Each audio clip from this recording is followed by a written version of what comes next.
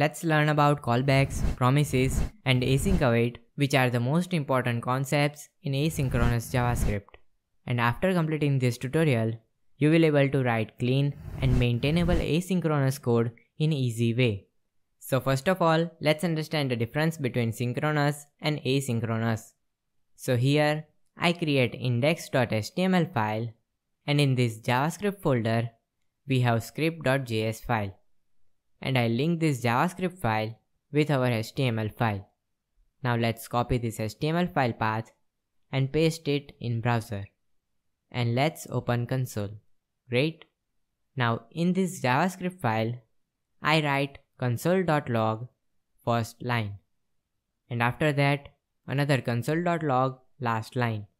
So this is the example of synchronous code or blocking code. Because when this first line is executed, the code is blocking and this last line has to wait until this first line finishes the task. In other hand, we have an asynchronous or non-blocking program.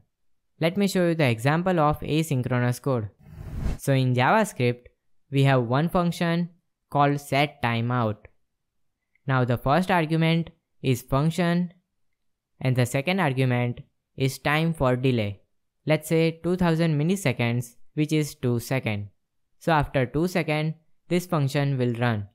So imagine here we are getting data from database which takes 2 seconds. Now, can you guess what we get in console. Let's see. So I refresh the page and see we get first line and last line and after 2 seconds we get this getting data from database. So first of all this first line will execute then we call this set timeout function. This function will schedule a task to perform in future. This doesn't block the code and that's why we call it as non-blocking or asynchronous code. So when we run this code, we get this first line, then immediately last line, and then after 2 seconds, we get this line. So let's understand this with the real life example. So here is a one restaurant. The waiter come to table 1 and take order from them. Now waiter give this order to kitchen and then move to table 2 for another order. So this one waiter can serve more customers. So this is the example of asynchronous. Now there is another restaurant. The waiter come to table 1 and take order from them. Now waiter give this order to kitchen and then waiting for the food to be ready. He is not taking order from another table. So the restaurant system is going to block because of this. And this is the example of blocking or synchronous code. So synchronous or asynchronous is the type of code. Now here, let's make this example more realistic. So I create function called getStudent and move this timeout function inside this function. And we return here data of student. So in object, name to Bob and ID to 1. Now let's call this function here and store this value in variable called student. And after that, we simply log this student. So we assuming that we are getting data from database and it takes 2 seconds. Save this and refresh the page. See, we get this student as undefined because this function is executing after 2 seconds. So when we call this function, this return data is not available.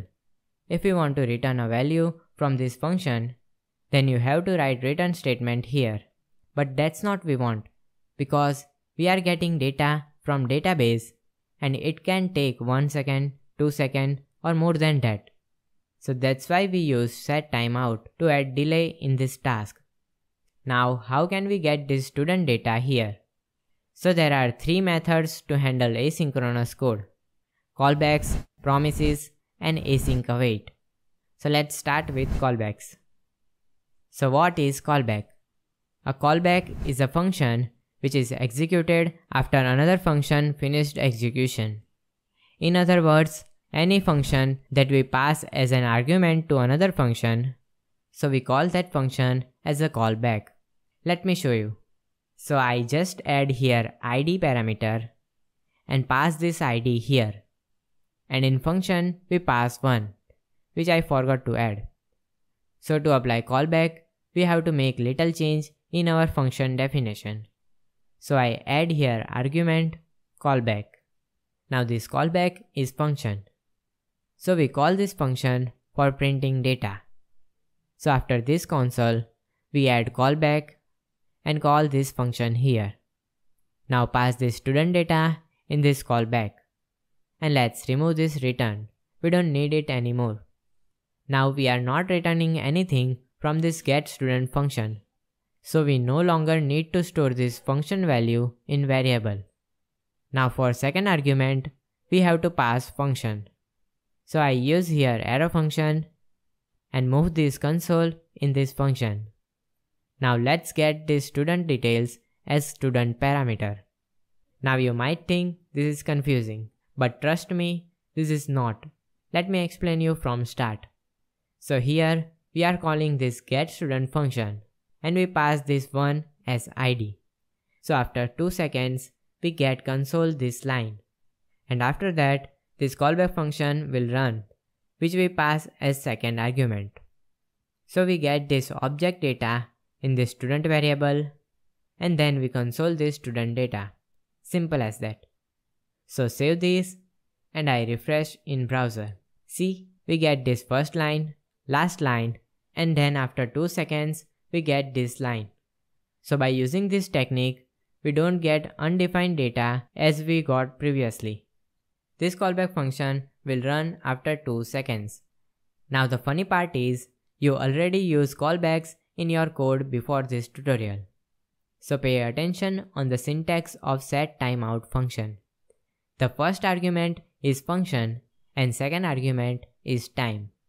So we know that when we pass function as a parameter in another function, then we call this function as callback.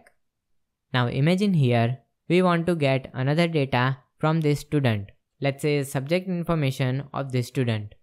So I create another function called getSubjects and pass here id which is student id. Now inside this function, we are assuming that we are getting data again from database.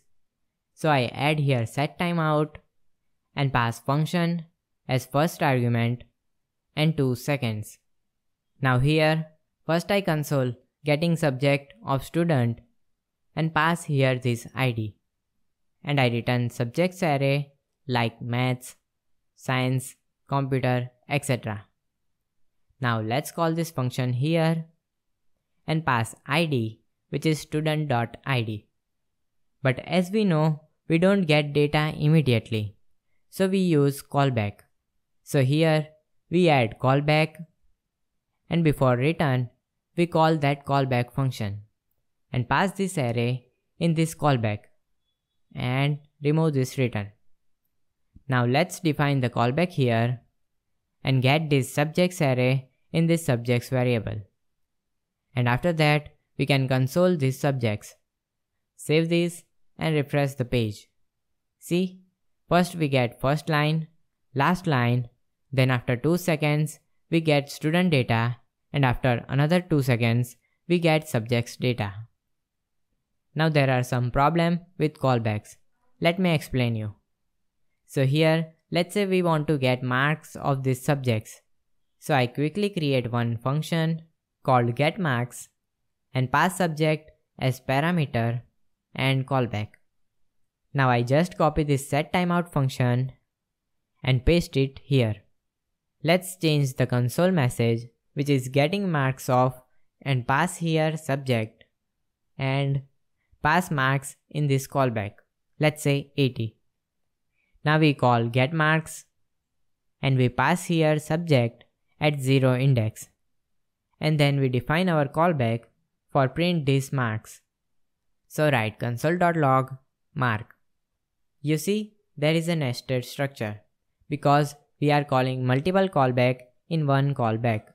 And this will make our code hard to maintain and understand. This issue is known as callback hell. This is not we have in asynchronous code. So if these all function are synchronous, our code look like this. You can see how this synchronous code is easy to understand and maintain. So to solve this callback hell problem, we will make anonymous function to name function. In other words, as we declare here callback function, which is anonymous function because its don't have name, and define them separately as named function. So we define here function called display marks and we get mark as parameter and simply console this mark. So this display mark function is same as this callback. So let's replace it with our function. Now here we define function called display subjects and we get subjects as parameter here and copy these two lines from here and paste it inside our display subjects function. So this function is same as this callback. So we can replace it with display subjects. Now same for this callback. So we create new function called display student and get student's data as parameter. And then we simply copy this and paste it here. So now we can replace this callback with this display student. Note that we are not calling this function, we just pass reference here. And see, we don't have that nested structure. So I copy this code in new file called callbacks.js so you can refer this code in the future. Now this approach is not ideal, but it is better than callback hell. So there is a better way to deal with asynchronous code by using promises. So what is promise? A promise is an object which is able to hold the result of an asynchronous operation. In other words, promise is promise you to give you the result of the asynchronous operation or give you error. Let me explain you with example.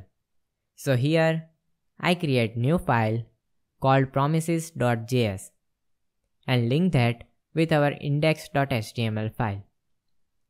Now to create promise, we write new keyword and then promise.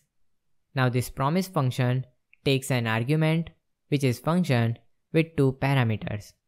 So here first parameter is resolve and second parameter is reject and arrow function. Now inside this we write our asynchronous code. Here again we are assuming that we are getting data from database. So we write here set timeout and pass function and 2 seconds. Now imagine here we get our data from database. So I create one variable called student equals to object let's say id to 1 and name to Bob. Now we write here resolve because we successfully get data and we pass here this student variable. Now let's store this promise in variable called promise. And let's consume this promise. So we write promise which is the variable dot and here we have two main methods then and catch. So when we create promise it is in pending state and if we complete the asynchronous task then promise in fulfilled state and if there is an error, then promise in rejected state. Here our promise fulfilled because we call here resolve. So when promise is fulfilled, then we get our data in this then method. Now we store our data in result parameter and then simply console this result. Save this and see, after 2 seconds, we get this result. Now imagine for some reason we don't get data from database. So I comment out these lines and call here reject function. Now for better practice, every time we create new error and pass our error message here. Save the changes and refresh the page. See, we get this error here. Now let's see how to consume this error. So after this then method, we add another method called catch and we get error and console.log this error. Save this and see we get that error here. So this is the implementation of promise in JavaScript. Now let me show you how we can convert our previous code in promises. So I have this code which have callback hell problem. So let's start with this getStudent function. In this function, we return new promise and function with resolve and reject variables. And inside this arrow function, we move this code. Now let's remove this callback, we don't need it. And at the place of this callback, we add resolve. Now let's test this promise. So here, we call this getStudent function and pass id 1. Now this getStudent function will return the promise. So we store this promise in variable called promise. Then we consume this promise and add here then method. Now we get this data in student parameter and simply console.log this student. Now let's comment out this code and I link this script file with HTML file. Save this and refresh the page. See, after 2 seconds, we get data. Now if you are follow along with me, then I have one task for you. I want you to convert these both functions into promises. So pause this video here and try it by yourself and after that watch this solution. So in this function, we return and just write here new and select this new promise. See, we get this boilerplate. By using these small tricks, you can boost your productivity. Now move this code inside this function and remove this callback and replace this with resolve. Now here, we also return new promise and move this code inside this arrow function. Now remove this callback and replace this with resolve. So we convert our all function in promise. Now let's see how to consume these nested promises. So we remove this console from here and call our next function which is get subjects and pass here student.id. Now we know that this function will again return promise. So we have to use then method. So outside of this then method, we add another then and store array in subjects. Now after that, we call getMarks function and pass here our first subject. Now we get another promise here. So at the last, we add one more then method and store this mark and simply console.log this mark. Save this and refresh the page. See, it's running same as before. Now you can see when we use callbacks, our code looks like this nested structure. And after we apply promises, this same code looks like simple and inline. Now for good practice, we always add catch method, error, and console.log error. So if we get error in any of these promises, then this single catch function will run. Simple as that. Now we can even simplify these promises using async and await. So async and await help us to write asynchronous code like synchronous code. It's like a magic. Let me show you. So here I call this function getStudent with id 1.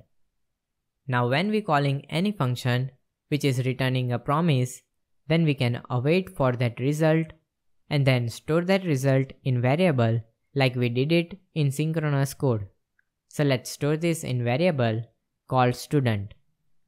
Now similarly, we call the next function which is get subjects and pass here student.id. Now let's await for that and store that in variable called subjects. Now after that, we call our last function which is get marks and pass first subject from the student's array. Now let's also await for that and store this in mark variable. And at the end, we console.log this mark. Now you can see by using this async and await operator, we can write asynchronous code looks like synchronous code. This is easy to understand and maintain in compared to callback as well as promises. We don't need to write this then method again and again. Now you might have a question where is async? So whenever we use await operator, we have to move that in function with async operator. Let me show you. So I simply add function here called display data and move this code inside it. Now at the beginning of this function, I add async. That's it. Remember, without this async, you can't use await in your code. It will give you error. And at the end, let's call this display data function. Now I comment out this promises part, save this and refresh the page. See, we get the same result. So with async and await, our code looks like synchronous but under the hood, JavaScript engine convert this code in something like this code. So our code work like asynchronous code and looks like synchronous code. Simple as that. Now in promises, we handle error using this catch method. But how can we handle that error in this async and await approach? So for error handling, we use try and catch block. So I write here try and inside this try block, we move our all code. And after that, we add catch block and this catch block gets error object and we simply console.log this error. So in simple terms, if any error occur in this try block, then this catch block will run. So I comment out this mark variable for testing. Save this and refresh the page. And see, we get this error mark is not defined. So when we use async await, as a good practice, we always wrap our code in try and catch block. Let's recap what we learned. So callback function is the first method to handle asynchronous code. But in callback function, we face the issue called callback hell. Now after that, we see promises which simply promise you to give you the result of asynchronous operation or give you error. So to create promise, we use new promise and inside it, we pass function with two methods, resolve and reject. Resolve means fulfilled and reject means rejected. But with promises, we also get this nested then methods. So after that, we see async and await operators. This async await is work like asynchronous code and looks like synchronous code. So when we call the function, we add await operator at the beginning. And this will help us to write code in synchronous way. And most important, you have to put this code into function with async operator. Without async, this await will not work. And that's why it known as async await. And last thing, for error handling, we use try and catch block. Catch for errors and try for all code. So we place our all code in try block and we handle error in catch block. So I hope you learned asynchronous JavaScript. These concepts will help you a lot in future. You can download the cheat sheet of these concepts in description box. So whenever you want to revise something, you don't need to watch full video. If you want to learn any other topic, you can suggest me in the comment section. So see you in the next tutorial. Goodbye.